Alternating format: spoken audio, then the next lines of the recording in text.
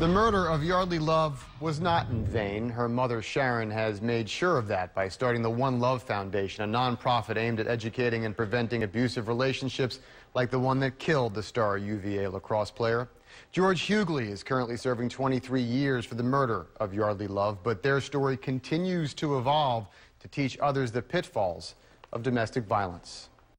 Almost exactly four years ago, a mother lost her daughter and gained a crusade. Yeardley Love was beaten to death weeks before her graduation from the University of Virginia. A jury determined her ex-boyfriend and fellow lacrosse star George Huguely killed her. My goal is to try and prevent this from ever happening to to any other family. It wasn't too long before Yeardley's mother Sharon went from being victimized by this tragedy to drawing strength from it.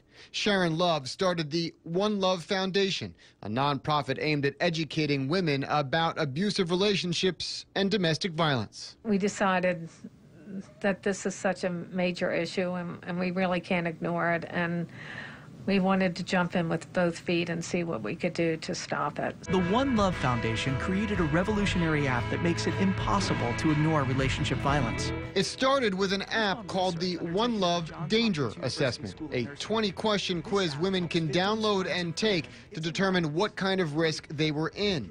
A modern version of the 20 year old tool developed by Johns Hopkins professor Jacqueline Campbell.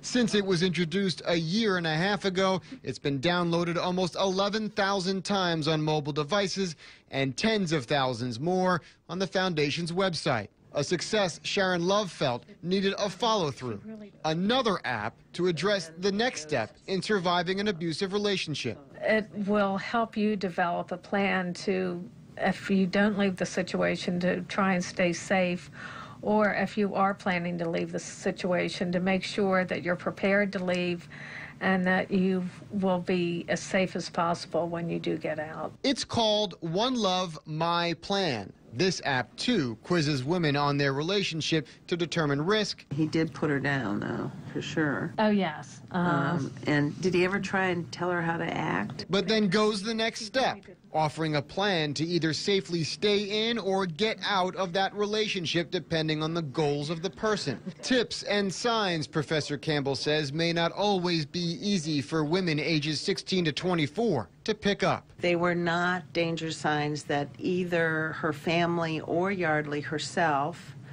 would have recognized as such, or her friends. But if I could have talked to her, you know, I might have been able to help her understand that danger. But now she can. Campbell's blueprint on identifying abuse is now digital twice over and targeting a mostly college demographic she says really needed it.